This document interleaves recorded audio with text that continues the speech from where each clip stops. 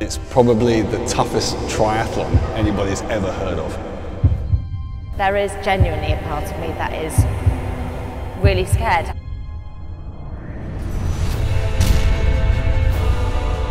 My challenge is to propel myself from Edinburgh to London. So it's a sort of Ironman on steroids. I'm not an Iron Man sort of girl. It's not me. So the all of it's a challenge. She is absolutely terrible at running. In the pool, she's not the greatest of swimmers, uh, and that's in the pool. Take that open water. It's incredibly cold, water temperature about 4 degrees centigrade. It is life-threatening.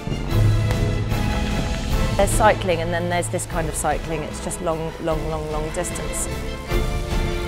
Perhaps the challenge is too big, it's too enormous. I've been through phases since I've been asked to do this where I think I can't do it. And I think I'm not, I can't do it.